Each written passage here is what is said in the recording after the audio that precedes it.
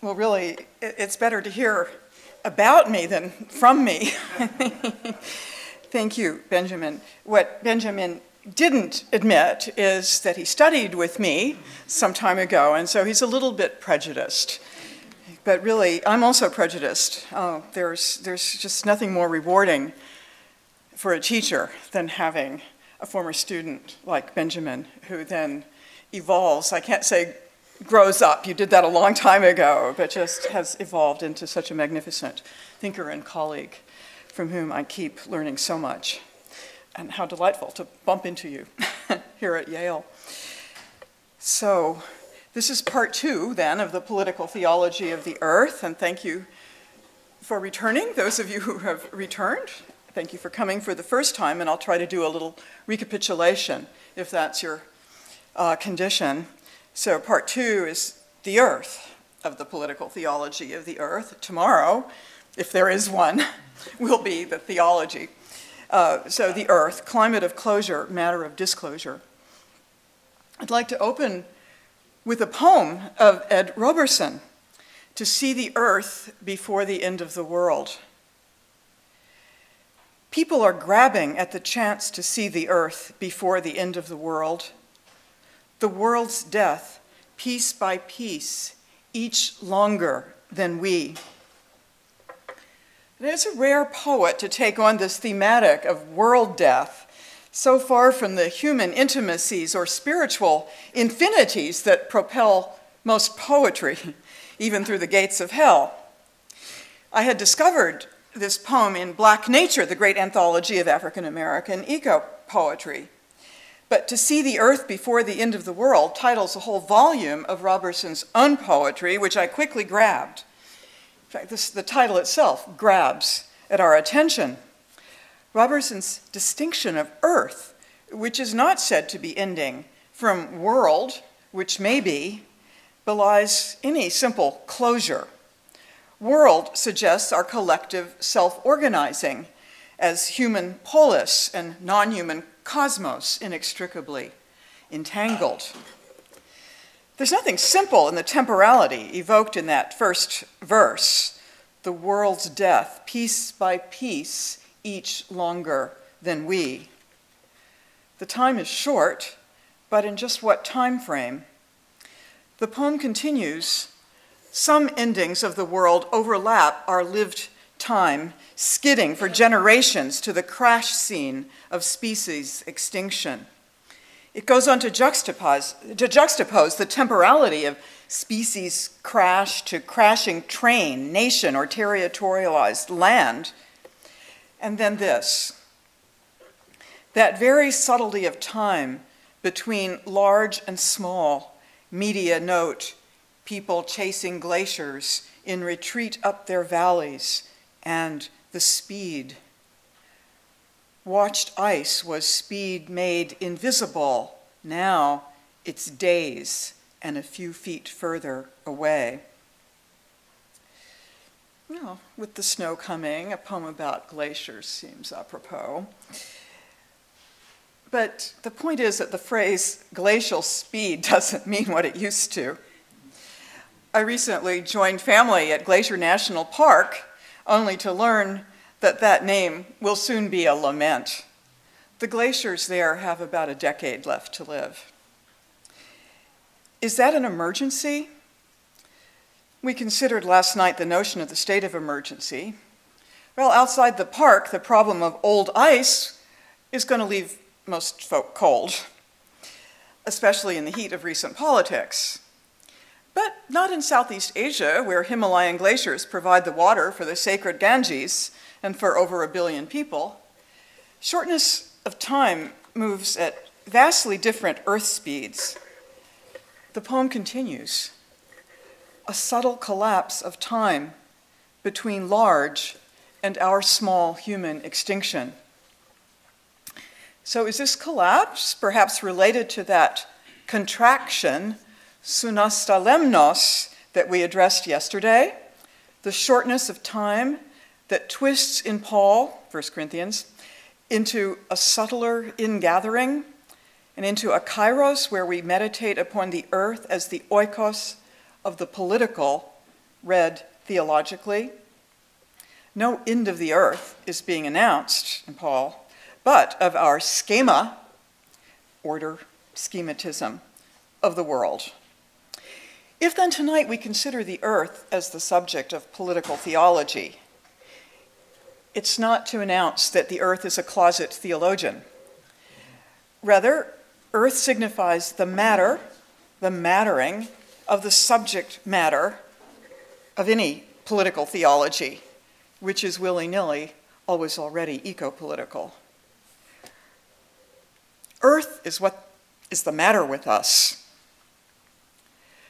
So, a political theology of the earth contends then with what we can call our anthropic exceptionalism, which accepts our humanity from our animality, and so from our earth. Our reading of political theology had led us last night to consider its notion of sovereignty as the power of decision in the state of emergency, the exceptional situation needing the exceptional authority, which for Carl Schmitt meant authoritarian, as we saw, and belongs to the definition of the political in terms of friend versus foe. We may not, however, then pretend an answer to transcend enmity.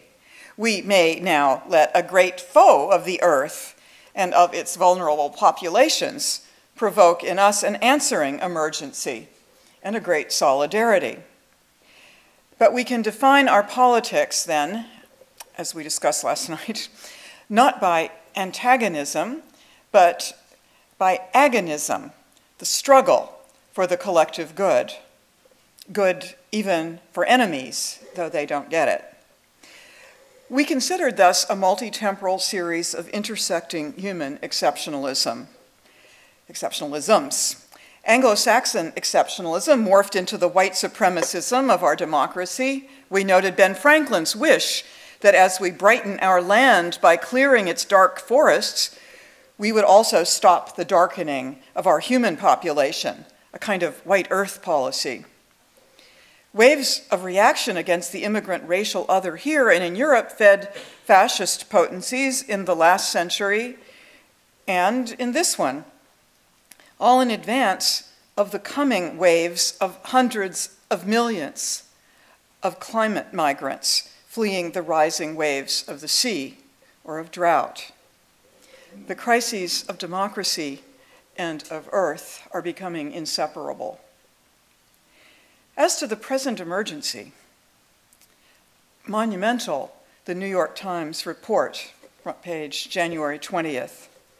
Within moments of the inauguration of President Trump, the official White House website on Friday deleted nearly all mention of climate change. The one exception, Mr. Trump's vow to eliminate the Obama administration's climate change policies. Right, the war is on against the earth and against so many vulnerable earthlings whose advocacy also disappeared from that website. So many that ecological activism may suddenly seem to some of us like a past luxury, just at this moment when the science is so clear that to avert ecological doom, we have about a decade to change course, about the time that remains to the already doomed glaciers. In the time Roberson calls the world's death, with its slow, fast temporalities, its grabs and its collapses, how are we to reorganize, to rematerialize ourselves? How do we keep contraction from collapsing into closure? How might we tease apocalypse into disclosure? Well, as folk of faith, we might first bounce back to Genesis 1 so does all Christian anthropic exceptionalism, which claims, of course, the dominant deployment of the dominion symbol. This is the version that in modernity got robustly secularized. It sees the earth, clearly indeed, over and against itself as its object, grabbing at the chance to see and to master, earth up for grabs. Of course, after the Women's March, when I say grab, you may be seeing another kind of grab. Uh, sorry, I'll try not to No use denying that a certain sovereignty, in the sense of gov- governance, already does inhere in the biblical dominion.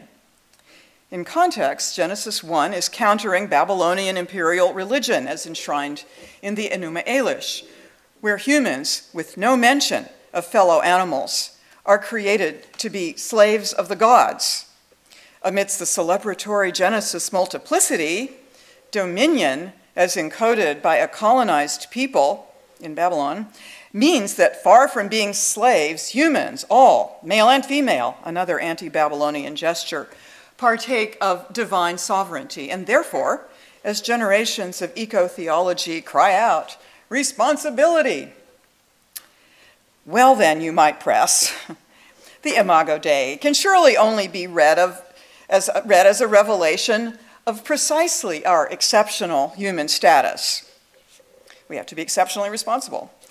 And I would grant that our relation to the divine is marked as different, special, extraordinary. Though the earth and the waters participate as invited in the creative process with outcomes praised, the priestly narrator makes our likeness to the Creator explicit. It endowed us with a risky mandate to deploy our gifts planetarily which can only be read as the Pope's climate encyclical insists with Genesis 2:15, till the earth and keep it. Sadly, keep it got taken to mean not tend and protect it, but grab it. As to the question of how exceptional a creature the Imago Dei renders us, let me point out something hidden in plain view in this hypertext. As the climax of the sixth day, it comes as a precise answer to the question. Making clear what our dominion means, the dietary plan is detailed. Every plant yielding seed that is upon the face of all the earth, and every tree with seed in its fruit, da, da, da, da, and as to every beast of the earth, and to every bird of the air, and to everything that creeps on the earth, everything that has the breath of life. It's a lot of detail, and it hardly ever gets quoted. I have given every green plant for food. Ta ta. In other words, the culminating word of creation. We earthlings are all to be vegans, all together, very good humans pose no exception to animality. We are not taken out of it. Our distinctive theomorphism only matters within our creaturely interdependence. There is no biblical zero sum game of humans versus creation or the rest of creation, nor is earth ever reduced to a dull modern lump of rule bound stuff from which I must surely be accepted accepted. Right? It is composed of mattering bodies, animals, animate forces, Mel Chen's animacies, a kind of ancient new materialism. In this century, critical animal studies works against philosophical anthropocentrism. Sadly, for interdisciplinary activism, this came decades later than eco theology and required a certain internal auto deconstruction of anthropocentrism in deconstruction. And Derrida's late, very late, meditation on the cogito ergo sum and on his little cat in this animal, which therefore I am, does beautifully undo any separation of animal from human. And yet, the difference between non human and human animal is not reduced, au contraire. His alternative to anthropic exceptionalism is called limitrophy, the growth of the limit. He writes, not just because it will concern what sprouts or grows at the limit, around the limit, by maintaining the limit, but also what feeds the limit, generates it, raises and complicates it. Indeed, folds and multiplies in allusion to Deleuze no sharp line obtains between me and the animal, of course, because there is no way to extract a me from my animal body breath, brain, genes, microbiome, gut feelings, affect. And yet, the difference between me and Derrida's pussycat is not thereby reduced, but complicated. But he could not make the move to the non human animal uh, without a bounce through Genesis to the other side of the non human, which is why he then coined the term divine animality or divine animality to trouble the ultimate wall uh, erected by humans against animality. Though Derrida never develops then an explicit political theology, his even later lectures, two volumes on the beast and the sovereign, question the political in part by way of a critique of Schmitt's omnipotently charged authoritarianism, which we talked about so much yesterday, as a simultaneous appropriation of beastliness, you know, the, the lion king, and denial uh, and denial on the part of the sovereign of its own beastliness. So it appropriates uh, beastliness because it, the sovereign is above the law and denies the beastliness, uh, which uh, is then sunk beneath the law. So, for a political theology of the earth, animality operates as our counter exceptionalist interface with the planet. In what animals teach us about politics, Brian Massumi lifts from zoology the lived importance of animal human relations. In an arena so thick, he says, with corporeality and affective complexity. This Deleuzian affect theorist is led to an active ecology of a diversity of animal practices and a creative tension of differential mutual inclusion of us and the beasts, differential mutual inclusion. And he offers a very helpful negative thesis. Do not presume that you have access to a criterion for categorically separating the human from the animal. Often, language is named as that wall. We name them, after all. Yet, animal play, in fact, produces, he says, the real conditions for the emergence of language. I was thinking about this animal play during the January 21st swarming, where we were all embodied in the marches so tightly together amidst so many witty signs no planet B, electile dysfunction, etc. If our difference represents no exception to animality, we cannot take ourselves out of our creaturehood. That etymological clue of exception, excipere, take out, reappears unexpectedly at the climax of Roberson's poem. Meditating on the arc of a long history linking our time to the Paleolithic, he writes this All that once chased us and we chased to a balance, chasing back tooth for spear, knife for claw, locks us in this grip we just now see our own lives taken by taking them out. Hunting the bear, we hunt the glacier. Just now, vision shifts from voyeuristic grabbing to dawning awareness taking them out. Excipere, taking out species after species, taking out those objects of our once balanced predation has now led to what Elizabeth Kolbert calls the sixth great extinction spasm. Stanford ecologist Paul Ehrlich puts it quotably, it's up in capital letters on the wall inside Stanford's main hall. In pushing other species to extinction, humanity is busy sawing off the limb on which it perches. The temporality, so long, contracting now so rapidly. Our lives taken by taking them out. So then, the anthropic exceptionalism has with a certain sovereign logic, brought us into a new time, increasingly called the Anthropocene. It names the era that has succeeded the 12,000 year climate stability of the Holocene, the hospitable and indeed only truly known context for human self organization into what we call civilization, and therefore the political. Yet some fear that the term, yet, excuse me, some fear that the term Anthropocene itself fosters a new anthropocentrism, even a kind of faith in techno redemption. Crutzen, who launched the term, does envision geoengineering the climate, though only as Plan B. But others fiercely defend the term Anthropocene. Tim Morton argues Anthropocene is the first fully anti anthropocentric concept.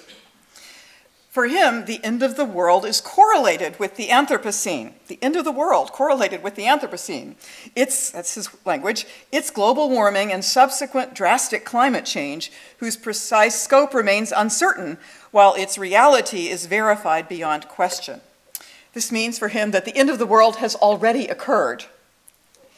Uh, which he declares in order, quote, to awaken us from the dream that the world is about to end because action on earth, the real earth, depends on it.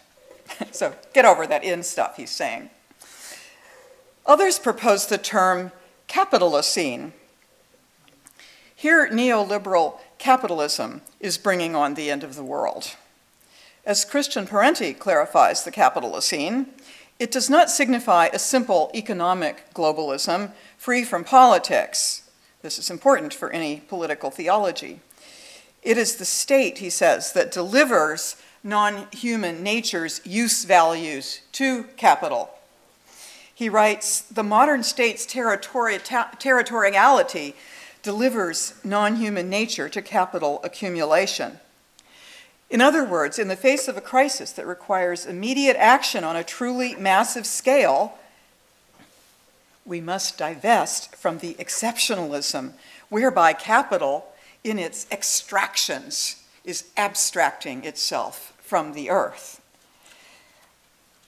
The desertification of earth, the acidification of ocean, melting of glaciers, raising of sea, mass migrations, all these count in economics as mere externalities, as does the well being of most earthlings, taken out of the calculations. Still, Morton has a point when he says that the term capitalocene misses the mark. If capitalism were the sole problem, he says the Soviet and Chinese carbon emissions would have added nothing to global warming. Nonetheless, one may admit a long history, really long history, of ecological sin without understating the role of modern neoliberal capitalism. Kathryn Tanner's Giffords unveil the high, the high speed plasticity of the current form of financialized capitalism. It has the capacity to absorb a history of multiple causes into its management of the future. And it projects the terms of short term profit into an endless, homogenized future. Tanner answers with a Christianity of radical time discontinuity, promoting expectations of radical disruptive change. Not unlike what I was calling yesterday the messianic inception. I find that Naomi Klein helps tune us to this disruptive possibility. She advocates neither for the Anthropocene nor the Capitalocene she writes that our economic system and our planetary system are now at war. Or, more accurately, she writes, our economy is at war with many forms of life on Earth, including human life. She continues, what the climate needs to avoid collapse is a contraction in humanity's use of resources. What our economic model demands to avoid collapse is unfettered expansion. Only one of these sets of rules can be changed, and it's not the laws of nature. No exceptions there. when she here names the alternative to neo imperial expansion and collapse, contraction, she does not have Paul's sunestalmenos in mind. Uh, nor, for all his asceticism, did Paul have a contraction of global resource use in mind. But we may let his weak messianism echo here when she writes Fortunately, it is eminently possible to transform our economy so that it is less resource intensive and to do it in ways that are equitable, with the most vulnerable protected and the most responsible bearing the bulk of the burden. Her earlier shock doctrine had investigated the global manipulation of emergencies by unregulated, indeed sovereign, capitalism. The comparison to the emergency power justified by Schmitt's political theology is intriguing, given his uh, very early 1920s warning about precisely a supersession of politics by capitalism if capitalism went on the American path. It would do in our own democracy, he said. In This Changes Everything Capitalism versus the Climate, Klein is warning of a frenzy of new resource grabs and repression, to which she juxtaposes the possibility that climate change can be a people's shock, a blow from below. She capitalizes people's shock. It can disperse power into the hands of the many rather than consolidating it in the hands of the few, and radically expand the commons rather than auctioning it off it would be contraction that makes possible this expansion. Uh, are those officers signaling at me for a reason? Um, sorry. okay. I don't think I said anything illegal. Yet. Things are changing fast. Uh,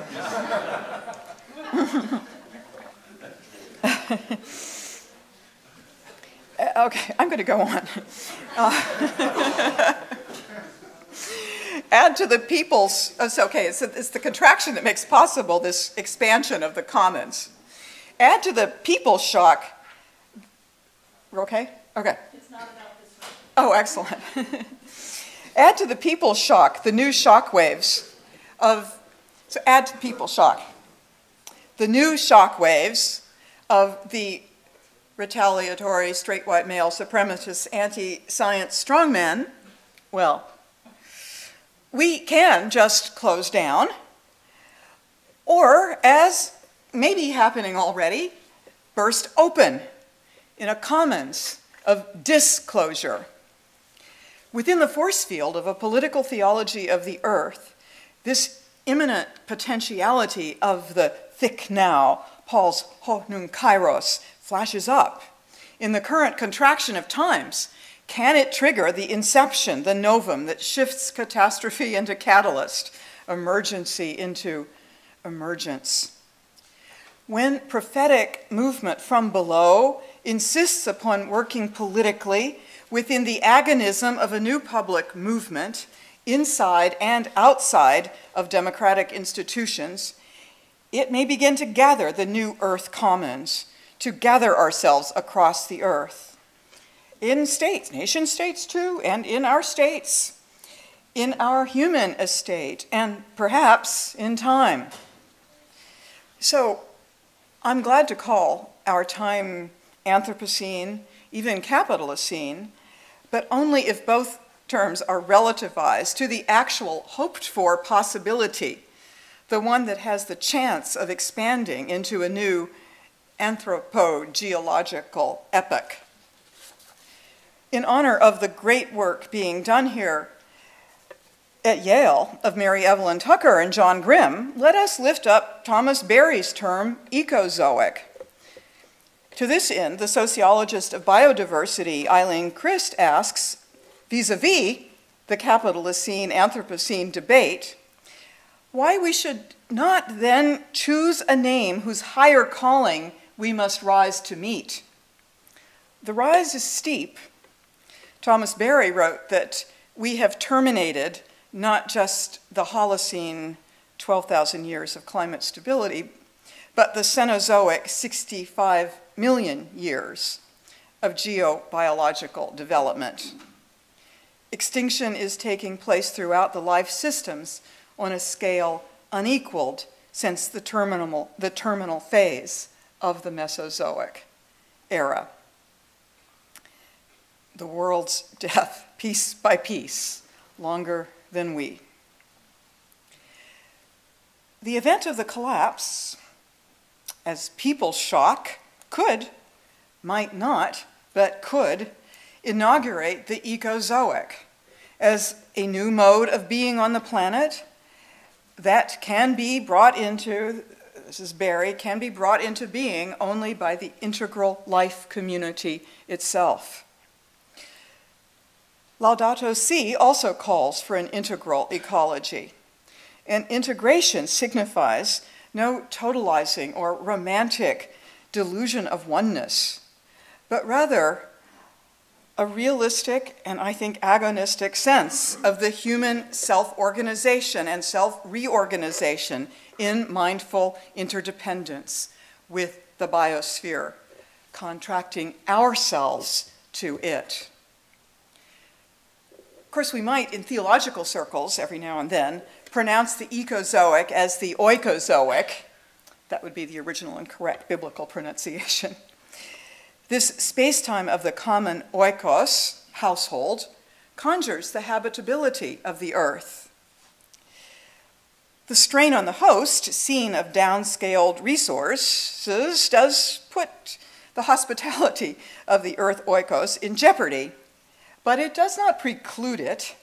Indeed, contraction can reveal it if its gifts are received mindfully. As the crowd of folk in the desert received the impossibly multiplied loaves and fish. You can read that miracle not as a suspension of natural law, but as a parable of human non human integration and very reduced resource use.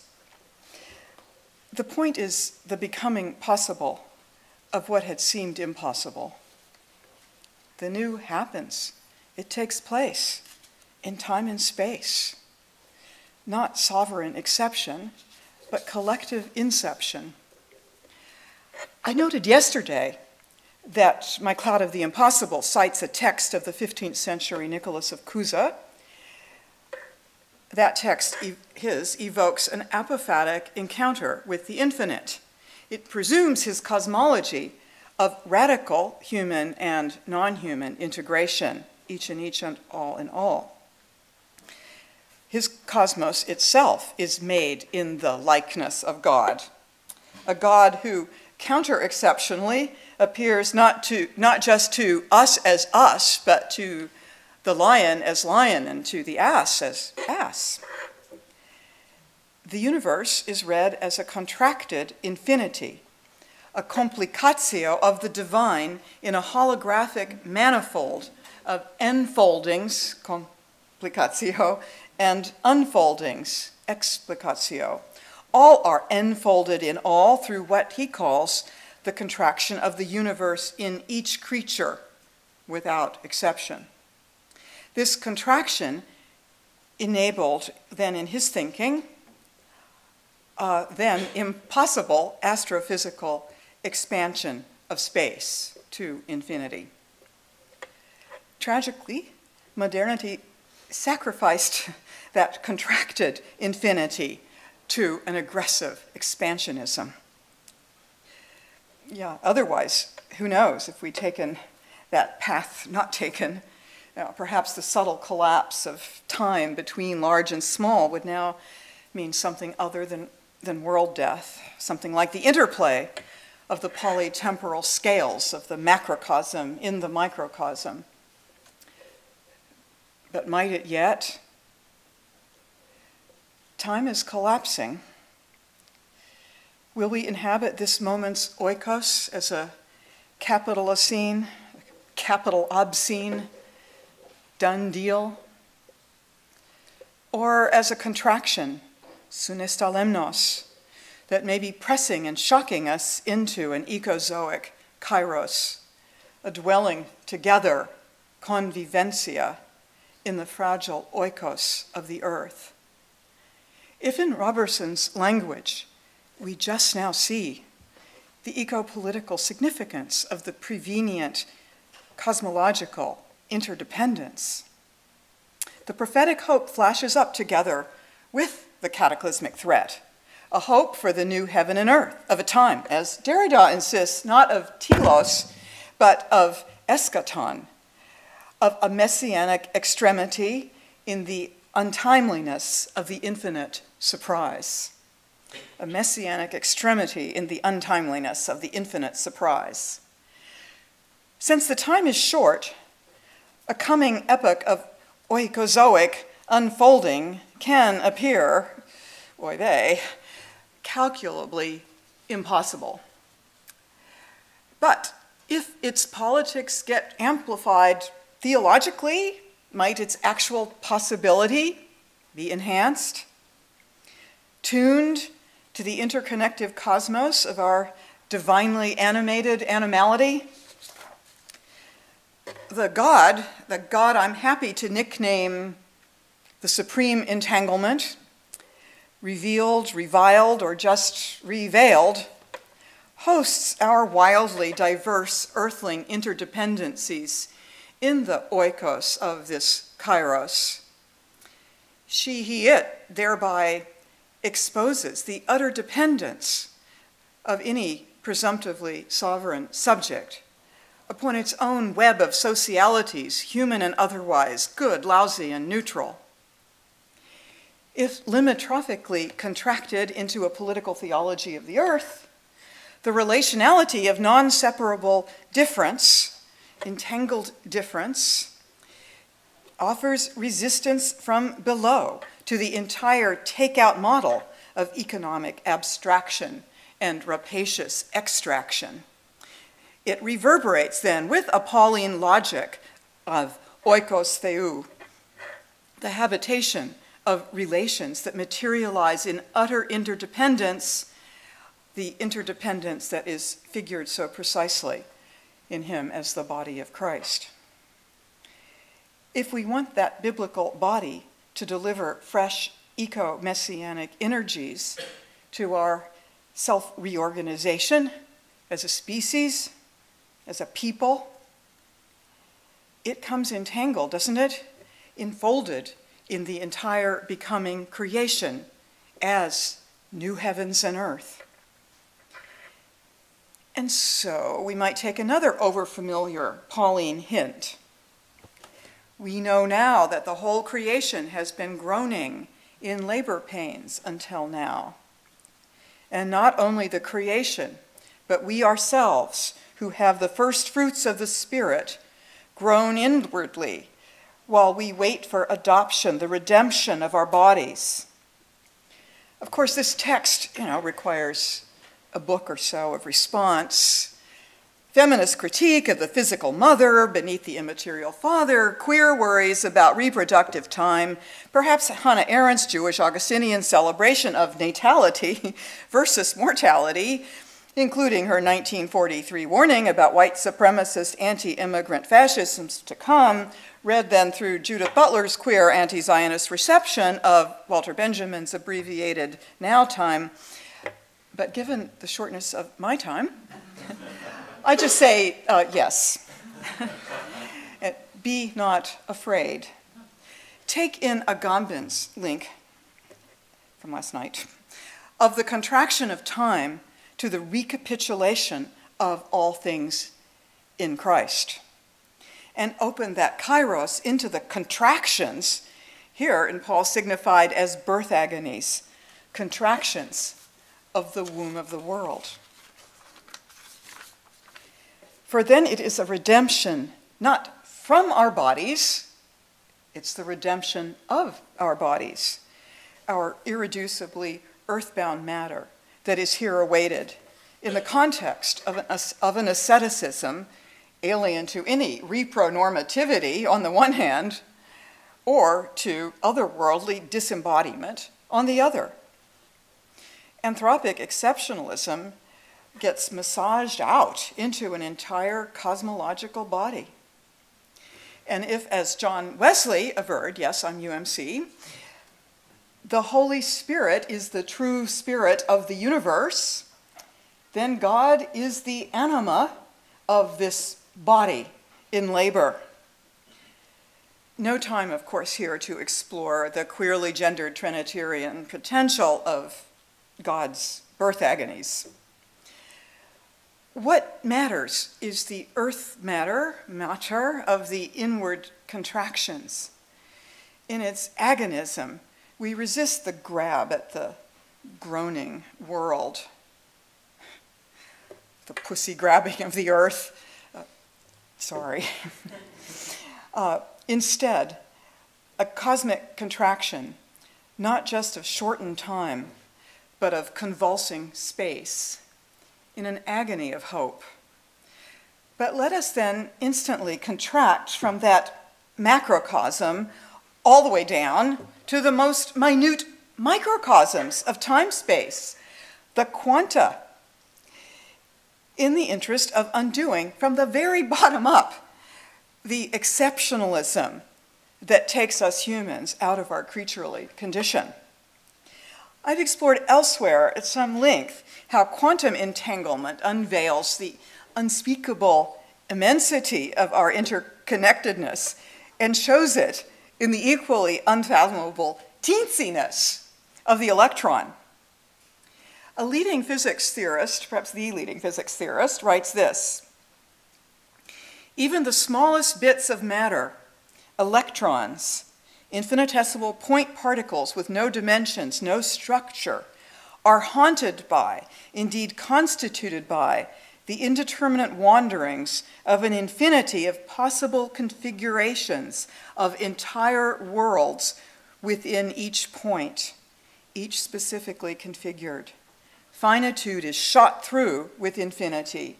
This is, of course, Karen Barad, who, in her cosmological new materialism, has already queered the quantum void, and now, in a not quite published essay, she has outed herself theologically. She's reading Walter Benjamin with the help of Judith Butler and highlighting the Kabbalistic mysticism that influenced his notion of the messianic now time. And out of her massive work on quantum entanglement, meeting the universe halfway, she now draws this inference. The messianic the flashing up of the infinite, an infinity of other times within this time, is written into the very structure of matter time being itself. Such a relational ontology, and she uses that phrase, undermines not just human, but animal, indeed organic exceptionalism it calls not upon some sovereign omnipotence, but upon a weak messianism. In the weakest, in the least, indeed in the shortest of times and spaces, is written this infinity. To link the political to the ecological is to underscore the vulnerability, the precarity of this planetary moment. And it is to resist the temptation in every political emergency to ignore the earth each piece of its death longer than we. If, Barad continues, matter has this messianic structure written into its finitude, no matter how small a piece, this is surely true of all material beings, each of which is an enormous, entangled multitude. A political theology of the earth forged from a theology of entangled difference, calls upon that very multitude for enhanced solidarity, which is to say, for our self organization across vast critical difference. Now, listen to what Barad uh, wrote for Drew's Entangled Worlds volume. She wrote this half a year before the election. This is the physicist turned prophet. I'm going to read the paragraph. her last paragraph. And perhaps it is this eternal link among all living beings, all beings in their aliveness, this shared transience, and the possibilities for renewal that follow downfall that is needed in confronting the rise of fascism in its connections with late capitalism, the normativity of state sanctioned violence against the oppressed, and the ongoing devastation of the planet and all its inhabitants. Facing the im slash possibilities of living on a damaged planet where it is impossible to tease apart political, economic, racist, colonialist, and natural sources of homelessness, otherwise called the problem of refugees, will require multiple forms of collective praxis willing to risk interrupting the flow of progress, not by bombing the other, but by blasting open the continuum of history. End quote. We might let echo in that blast the people's shock of capitalism versus climate, big burst, or big birth, the opening of the possibility of an actually better world, the commons of an ecozoic collective. The flashing up of the infinite takes place not in any predictable unfolding of Chronos toward Telos, but if the alternative possibility, the eternal link of the novum is, quote, written into the structure of matter time being itself, its messianic inception will also not come to us as an eschatological exception. For the mysterious recapitulation of all in each discloses our multiply human and massively non human entanglements, even as it gathers in and explodes outward, supernova like. The birth pangs do mean agonies. And in the meantime, justice, democracy, science, religion seem all to be miscarrying. The signs of the time turn daily dire. But what do they signal? Roberson returns in another poem to his titular theme to see the earth before the end of the world. The world is mortality. Earth goes beyond us, is the ours of cosmos, is our hour of cosmos. The hours, O U R S, of the great contraction of the universe in this tiny terrestrial grain may be ours, not as grabbed property, but as convivial oikos our hour of cosmos, the cosmic brevity of the species, repositions our shared mortality, our animal animate world, neither as excuse nor as fatalism. So the question remains how will, we, how will we live this hour of ours, this Anthropocene, capital obscene hour, this now time, as the pathetic end of our habitable cosmic oikos, after all, or as birth pangs of the ecozoic. Up to us, the collective, collecting a we amidst this proto fascist international of white supremacist nationalisms, amidst faster meltings and warmings, acidifications and desiccations, floodings and burnings it is up to our ourness, our impossible togetherness, still coming. New possibilities of gathering are even now among us, contracting into the local, where the earth is all in, gathering into your congregation, into your collective garden, into an airport demonstration, a march into local office, activist networks, green energy innovations, and I hear a set of living buildings on this very campus, into nodes of a public entanglement, forming, as Deleuze put it, a new people, new earth.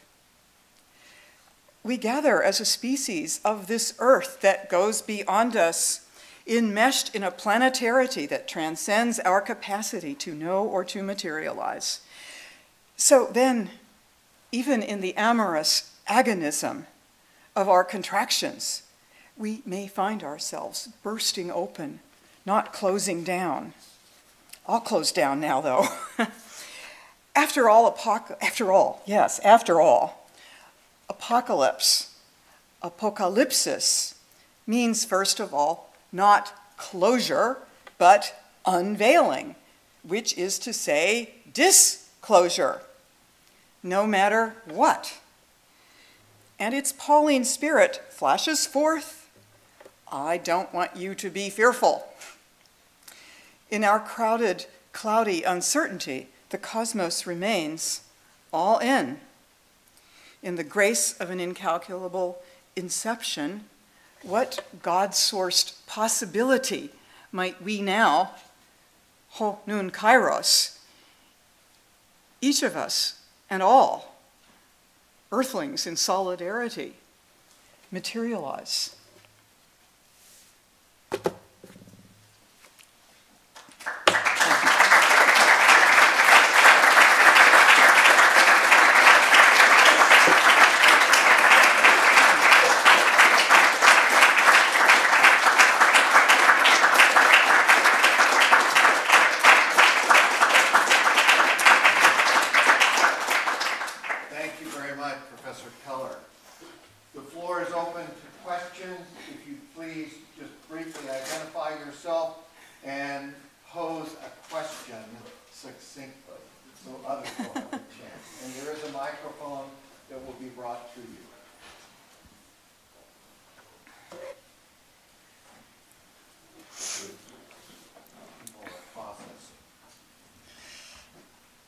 Like the silence. Oh, okay, John. uh, John Grim, the joint degree program between here at, at YDS and F, up the street at FES. I uh, wanted to ask uh, very briefly for to draw you out on the uh, contraction, the implicatio, and the expansion, the explicatio. How would you see uh, the language of intimacy and distance mm. in that relationship and in that movement, that it seems to open uh, possibilities for the enfleshment, uh, embodiment, and the, uh, the uh, psyche-body relationship to her, just to draw you up. Oh, thank you. Um, yeah, no, that's lovely. I hadn't thought of it in, in quite those terms. But right, that, that complicatio, that folding together, uh, is a folding together of fathomless distances into intimacy, a kind of contracting of infinite to the intimate. And it unfolds out from that intimacy of the moment now, in which you and I become here together now. Folds out from there, the ripple effect, right? Like like the ripples in a pond, into great distance. So it's certainly a way of thinking this kind of all in each and each and all, to remember Cusa's formulation of it, a way of, of, of, of distinguishing um, distance from separation. We tend to confuse the two, and if something's distance from, from, from us, emotionally, we tend to want to separate from it, think that we can. Uh, or just see it as bounded and separate. Um, so this is saying, no, it just might be very distant, ethically distant, uh, culturally distant, cosmically distant. So it's a, a, a different rhythm of oscillation uh, in, in our spatio-temporality. And by that same token, then, it is our materialization that is happening in each of those moments so that contracting in is the actualization, the self-actualization in the moment. This is a little Whiteheadianism, which I'll finally come out a bit as a process theologian tomorrow, if, if there is one. uh, but the, the self-actualization of, of each occasion of concrete becoming in the process theological vision is an embodiment, is a materialization, and then unfolds in a kind of objective immortality, a ripple effect as an influence indefinitely out. So our very embodiment uh, can't, can't be separated, first of all, from all the other bodies that we take in down to those tiny levels like the mysterious microbiome. Uh, and our mentality is incredibly intensive interior process of that very of that very embodiment and its becoming. And so there isn't once once that rhythm of intimacy and and distance, perhaps even intimacy and infinity, uh, it kicks in. There isn't any way either of, of, drawing a line between a body and a mind. There, there simply aren't those absolute boundaries. What there are are limitrophic uh, differences, extreme uh, and varied differences, intensified by relationship, not diluted. Difference enhanced and troubled and thrown into crisis and catastrophe or, or into redemption by difference. But difference then, difference itself, always understood as a relationship. Can't, can't discuss a difference except as a, a relation. And the relations are relations of great intimacy and great distance. Yeah? I, I want to follow up later, but I'll, I'll do it. Okay. I do want to follow up. Yes, back here.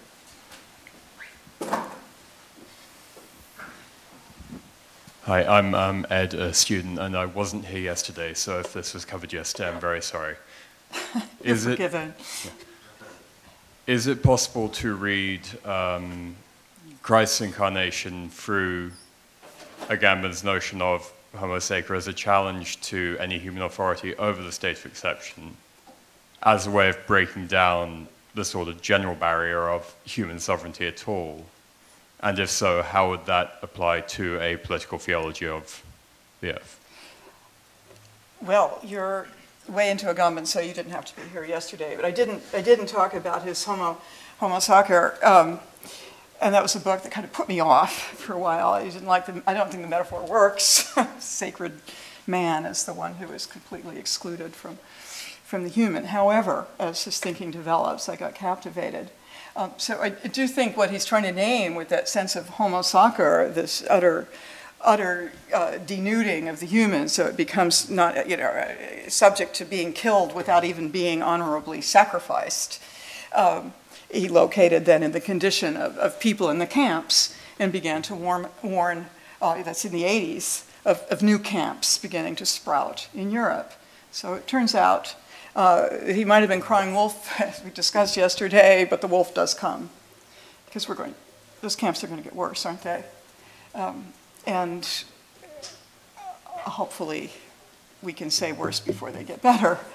Um, so that condition of, of, of great of, of masses of, of, humans just uh, excluded from the human itself can also be draw, drawn into relation to what Fred Moten calls the undercommons, right? And I was arguing a bit yesterday that if we want to define, which I sometimes do, the political as the collective struggle for the common good, uh, that common must, must solicit solidarity with that un- undercommons that, that is, of course, the message of Matthew 25 uh, and, and the least of these. So I think one can, one can go then Christological uh, in, in, this, in this contraction, but it's a radical one. Yeah? Thank you. One last question, if somebody has them right here. This will be our last question. Arthur Thomas. Nice yes, to see you. hi there.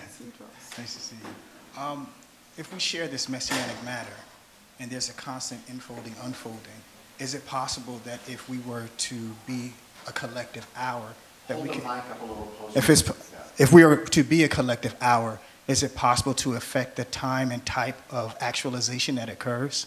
As far as the eschaton, as far as the future, is it possible to, for us to affect the embodiment moment that occurs? It, it it has to be all about that, our chance of together affecting those outcomes as they build up, moment by moment by moment.